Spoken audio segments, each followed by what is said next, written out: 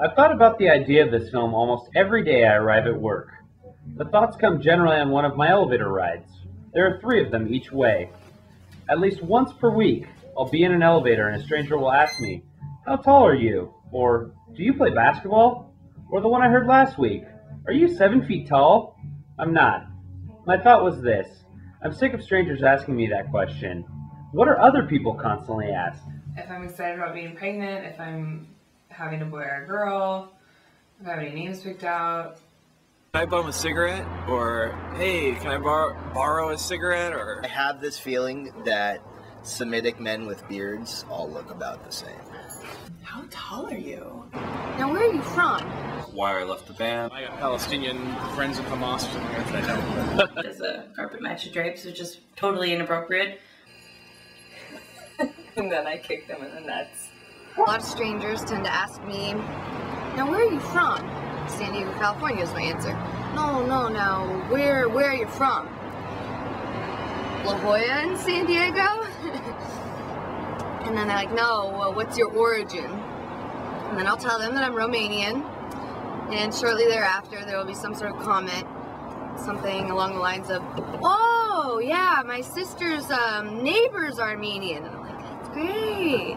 As part of Urbanspoon, I've been asked a fair number of times by students for, for help on various student projects. And it's the worst, right? Because it's like, this is a student, like, you know, it's not competitive. It's just totally, it would just be helpful. And you, you, you, you obviously you want to do that. Do you have a visceral reaction when you know somebody's going to ask you how tall? And if so, what is that visceral reaction? Um, I get a knot in the pit of my stomach because I can just see it coming. I know it's about to happen. And for a flash, I feel like I'm 12 years old in high school or in junior high once again. And like the boys are picking on me because I'm about a foot taller than they are. Every time that someone asks about my history with Screaming Trees or Nirvana or whoever, um, they almost always ask why I left the band or why I quit, and or if I regretted it, and and these are people who I have no history with. Um, to me, that would be like me asking, "Did you regret it when your wife uh, and you split up and you discovered that she was having an affair with someone who was a lot better looking than you and makes a lot more money? Does that hurt?" Asking someone why they quit a band um, can have just as many uh, personal connotations or uh, uh, uh it can be just as uh, um, devastating. Uh, the appearance of the person, if it's a hot girl, I'm way more likely to, you know, to, to answer the question to the best of my ability. If it's someone who I, I have no immediate uh, positive response to, and they're asking me personal questions, and I'm not in, in a good mood, I may say something very flip or, um, you know, just tell them that I'm not interested in talking about it. Seems like pretty much everyone has a story for what strangers ask them to initiate conversation or fill dead air. This leads me to thoughts of some other pursuits that sometimes fill dead time or space for many of us. One obvious social networking website seems to captivate more downtime than any other current pursuit. Right, Facebook. I am a big Facebooker. I've pretty much narrowed it down to Facebook. For Well, I frequent Facebook. Facebook. Facebook. Facebook. Facebook is definitely, I know everybody I'm friends with on Facebook. It's to communicate more personal things that are happening in my life and thoughts and images. I use Facebook for stalking. I use it for. Could you elaborate on the stalking? I mean, I'm on Facebook daily. Event invitations. I actually get, I wouldn't say a lot of news, but at least some news from friends posting stuff up on Facebook that they think is interesting. I'm not looking for friends from my distant past anymore. That being said, if a friend from the distant past friend requested I probably would say yeah. Twitter is my brand, and so I use that to share thoughts. It's thought leadership, and the people I follow on Twitter are people whose thoughts I'm interested in. I probably haven't met 90% of the people I know on Twitter. So actually, one network that I refuse to look at is YouTube. I have a number of films on YouTube. I've been featured on YouTube. I refuse to read the comments because they're so juvenile and asinine that it doesn't. It's not a healthy community to me at all. Different communities form around different social networks, and sometimes it's difficult to know what if any, etiquette is expected to be followed when interacting with each community.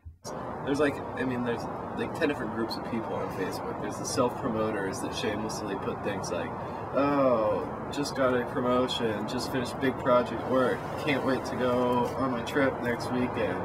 Then there's the Debbie Downer type. It's always like, has a negative oh, story. Yeah, my feet hurt. I hate Mondays. Um, those people that are posting really personal things. Do you ever get those kind of messages? It's kind of weird when you have like a manager come to you on Facebook or something like that and be like, "Can you be my friend on Facebook?" And I remember when I was working in HR briefly, they'd regularly chase, check Facebook and MySpace yeah. profiles for people that were applicants, and you know, these 19 year old girls or guys have pictures of them beer bonging or smoking pot or something that right away they don't get the job. They don't even get their resume written because of some stupid picture or a comment or something that they put online for everyone to see. Found out that my boyfriend had a girlfriend. Um, my boyfriend in another state had a girlfriend through a tagged photo of him. So it's amazing the things you can find out on Facebook when you click on names and you can see everybody else's business and what they're doing on their page. So one of my friends had a recent a pregnancy scare, and uh, she lived out of state from her mom, and her mom uh, was not really new to Facebook, didn't really know how to do it, and decided instead of sending a uh, message, which would be private, she posted it to the wall, which shares with mutual friends. Do you know if you're pregnant or not? Which is, uh, you know, a little uncomfortable for someone who doesn't want the world to know she's having a scare and her boyfriend was the first one to see that post. The expectation is that in this world, everyone wants to share. I quit Facebook because I found it annoying and invasive. It seems everyone has an opinion on or of Facebook and social networking sites in general, but there's no denying most people are reliant on them in some fashion. In the pursuit of understanding, I felt it necessary to hear what the social networking sites had to say for themselves. So, what do you personally use Facebook for? Um, well, uh, there's sort of the two uses. There's uh, my personal use and my professional use, and uh, I think like uh, a lot of people, I use Facebook to keep up with friends near and far, old and new, um, what they're up to, share what I'm up to.